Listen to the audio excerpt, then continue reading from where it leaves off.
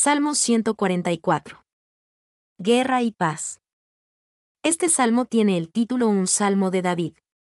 Se cree que fue escrito cerca de la época en que David llegó a ser reconocido como rey de todas las tribus de Israel, y el salmo expresa el corazón de David por la nación tanto en la guerra como en la paz. Parece por el versículo 2 y el versículo 10 de este salmo, que fue compuesto después del ascenso de David al trono. Y es evidente, a partir del versículo 5, etc., que aún tenía más enemigos por conquistar, como los filisteos, etc. George Horn a oración y adoración con respecto a las temporadas de guerra. 1. 1 a 2. Alabanza a Dios que bendijo y ayudó a David en la batalla. Bendito sea Jehová, mi roca. Quien adiestra mis manos para la batalla. Y mis dedos para la guerra. Misericordia mía y mi castillo. Fortaleza mía y mi libertador. Escudo mío, en quien he confiado. El que sujeta a mi pueblo debajo de mí.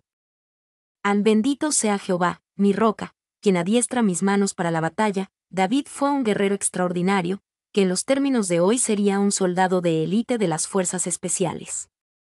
David mató a muchos hombres en combate cuerpo a cuerpo, como se describe en un Samuel 17, 48-50 y 18, 26-27. El adiestramiento es una parte esencial del éxito como soldado, y David entendía que era Jehová quien había adiestrado sus manos para la batalla y sus dedos para la guerra. Y, en su juventud, las manos y los dedos de David estuvieron familiarizados con el garfio, del pastor, y el arpa, del músico, y no con la espada y la lanza, pero Dios los ha capacitado y habilitado para hazañas de armas y hazañas bélicas. Trap. 2. Aaron Clark enumeró las armas a las que pensó que David se refería, para usar la espada, el hacha de guerra o la lanza, para usar el arco y las flechas y la honda. 3. Quien adiestra mis manos para la batalla. Si un hombre o una mujer siente que Dios lo está entrenando para usar armas espirituales, como la espada del espíritu, la palabra de Dios entonces el entrenamiento debe continuar siempre. Nunca es quien adiestró mis manos para la batalla, sino siempre en el presente quien adiestra mis manos para la batalla. 4. Spurgeon escribió sobre el peligro de usar algunas armas sin el entrenamiento adecuado, un peligro tanto en el ámbito natural como en el espiritual. La fuerza no entrenada es a menudo una lesión para el hombre que la posee, e incluso se convierte en un peligro para quienes lo rodean, y por eso el salmista bendice al Señor. Tanto por enseñar como por ser fortaleza. B. Misericordia mía y mi castillo, fortaleza mía y mi libertador. David derrama nombres y títulos para Dios, cada uno representando algún aspecto del carácter de Dios o ayuda que había sido útil en la batalla. David conocía la ayuda y la presencia de Dios de muchas maneras, no solo de una o dos. Y, de todos los nombres y títulos, notamos que David comienza con misericordia mía, his, la gran palabra para el amor de pacto y lealtad de Dios. Amaba y valoraba a Dios por ser su fortaleza, su alto refugio, su liberador, su escudo, su refugio, su victoria conquistadora. Sin embargo, el primero de todos ellos era el regalo de Dios de amor, misericordia y fidelidad. 2. En el Salmo 144, David es extremadamente personal, ya que confiesa quien había descubierto que era Dios. Dice, mi roca, mi misericordia, mi fortaleza, mi castillo, mi liberador y mi escudo. Voy sé. Sé, el que sujeta a mi pueblo debajo de mí. David probablemente escribió esto después de que fue recibido como rey sobre todas las tribus de Israel. 2 Samuel 5, 1 y 5. Si este salmo proviene de un periodo anterior, es posible que se haya referido al sometimiento de los valientes bajo su autoridad, como en un Samuel 22, 1 y 2. Y los hombres que gobiernan a otros deben agradecer a Dios si tienen éxito en la tarea. Criaturas tan extrañas son los seres humanos, que si algunas de ellas se mantienen en asociación pacífica bajo el liderazgo de cualquiera de los siervos del Señor, Él está obligado a bendecir a Dios todos los días por este maravilloso hecho. Espurgeón. 2. 3 a 4. El amor y el cuidado inesperados de Dios por la humanidad. Oh Jehová, que es el hombre, para que en él pienses. ¿O el Hijo de hombre, para que lo estimes? El hombre es semejante a la vanidad sus días son como la sombra que pasa. Ah, oh Jehová, ¿qué es el hombre, para que en él pienses? En las líneas anteriores, David exaltó la gran fuerza y victoria de Dios. A la luz de eso, David se asombra de que Dios estuviera interesado en él, o en la humanidad en general. Y el Salmo 8.4 hace las mismas preguntas desde una perspectiva ligeramente diferente. Aquí el énfasis está en el Señor como un guerrero al que nadie puede oponerse. En el Salmo 8.4 el énfasis está en el poder de Dios como creador y sustentador del universo. 2. El Señor piensa mucho en el hombre, y en relación con el amor redentor lo hace una gran figura. Esto se puede creer, pero no se puede explicar. Espurgeón. B. O el Hijo de Hombre, para que lo estimes, David usa el método común de repetición para enfatizar el concepto del cuidado inusual e incluso inesperado de Dios por la humanidad. Y, aunque soy rey de mi pueblo, no soy más que un hombre. Una criatura vil, pecadora, mortal y miserable, si se me compara contigo, menos que nada y vanidad. Pole. C. El hombre es semejante a la vanidad, habiendo sido responsable de la muerte de tantos hombres, y habiendo estado tan cerca de la muerte, David sabía lo temporal que era la vida humana. Era tan fugaz como la vanidad o la sombra que pasa. Y el salmista no presenta su petición ante el Señor con timidez, sino con osadía. Conoce a su Dios, y a pesar de las deficiencias humanas, está convencido de que el Señor se interesa por él y piensa en él. Van Gemeren. 3, 5 a 8, una súplica de rescate al gran Dios. Oh Jehová, inclina tus cielos y desciende. Toca los montes, y humeen. Despide relámpagos y disípalos envía tus saetas y turbalos. Envía tu mano desde lo alto. Redímeme, y sácame de las muchas aguas. De la mano de los hombres extraños. Cuya boca habla vanidad. Y cuya diestra es diestra de mentira. Ah, oh Jehová, inclina tus cielos y desciende. David usa frases e imágenes de la aparición de Dios en el monte Sinaí, Éxodo 19, 16-20 para dar la sensación de asombro e incluso terror relacionado con la presencia de Dios. Y Él quiere que Dios esté tan presente en su tiempo como lo estuvo cuando se reveló en el Sinaí. Boise. 2. De la misma manera, la Iglesia, o cuerpo místico de Cristo, es instantánea en oración por la culminación final de toda su esperanza. Ella desea el día glorioso, cuando su Dios y Salvador inclinará los cielos y descenderá al juicio, haciendo que los montes humeen y llamen, se disuelvan y fluyan ante él, cuando sus relámpagos, esas flechas de su indignación y ministros de su venganza, dispersen el ejército de las tinieblas y destruyan los poderes anticristianos. Cuando seremos librados de todo enemigo y de todos los que nos odian. Orne. Ve, redímeme, y sácame de las muchas aguas. David pide que el mismo Dios de majestuoso temor luche por él, enviando relámpagos como saetas en contra de los hombres extraños que luchaban contra de David con mentiras y vanidad. Y durante los días de David como fugitivo de Saúl, tuvo muchos hombres que informaron en su contra para ganar el favor del rey Saúl, 1 Samuel 22, 6-10, 23, 19-20. David también probablemente enfrentó a personas que murmuraron y mintieron contra su carácter cuando era rey. Al igual que el más grande hijo de David, a menudo fue calumniado y mintieron sobre él.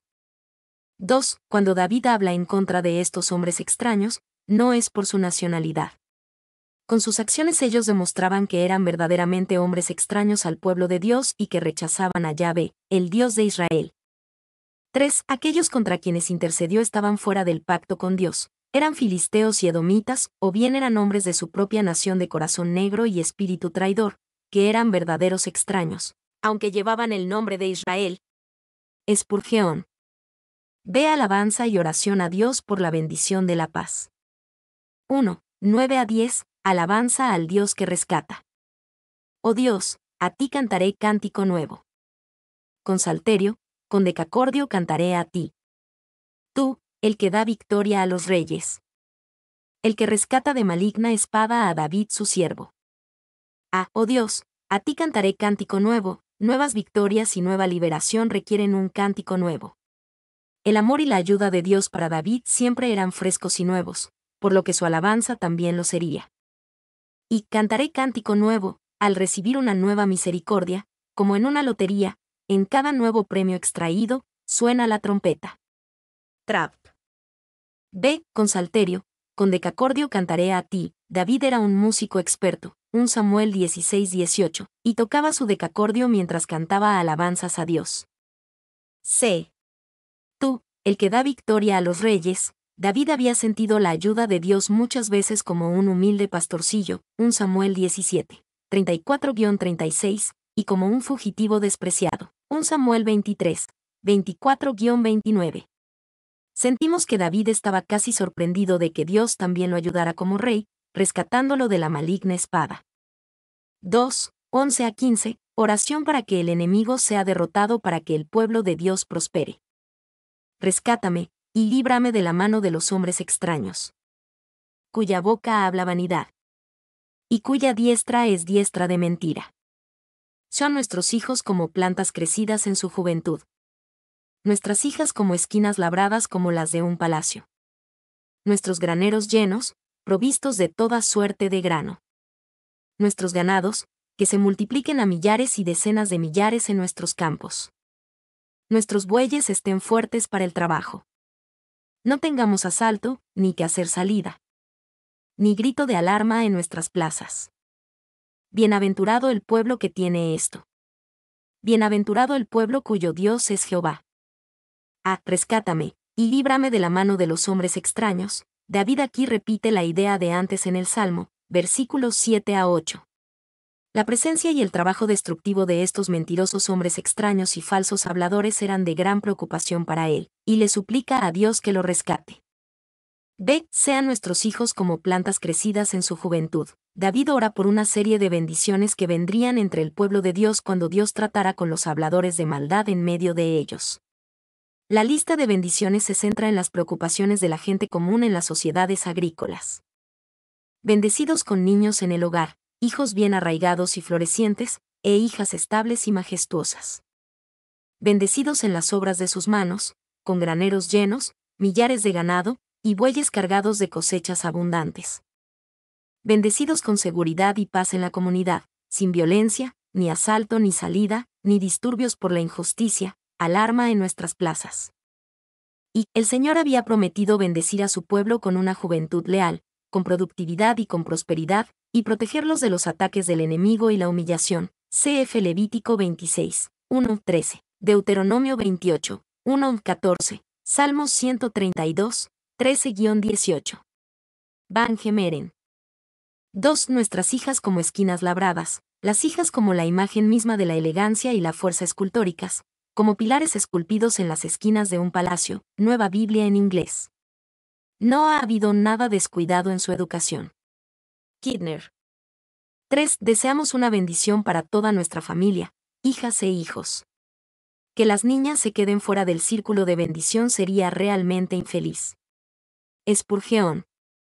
4. No tengamos asalto, ni que hacer salida. También ordenada está la policía del reino, que no hay en la tierra depredaciones, ni asaltadores, ni ladrones de casas, ni fiestas de merodeadores. No hay incursiones repentinas de tribus vecinas o bandidos irrumpiendo en campos o casas.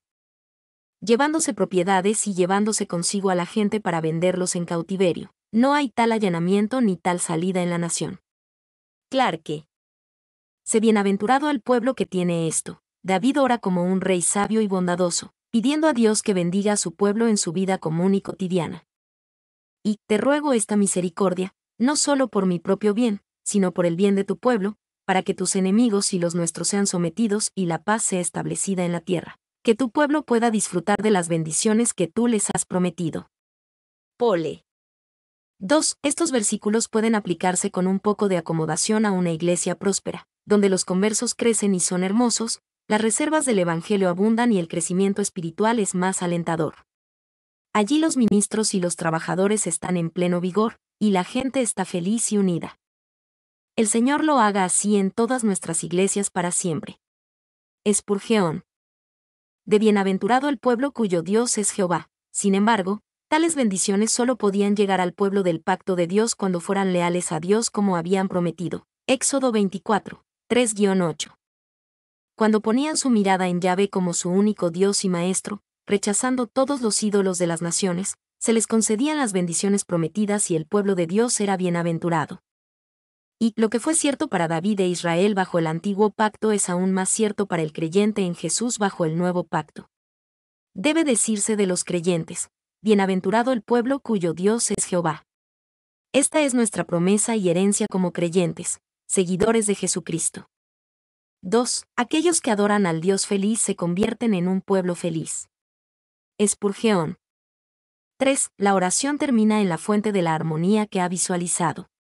Porque mientras atesora los dones, reserva su bienaventuranza final para la relación detrás de ellos, la de ser el pueblo que conoce al Señor como suyo. Kidner. Mi nombre es Demim. Soy tu asistente personal. Mi sitio en internet es demim.es.tl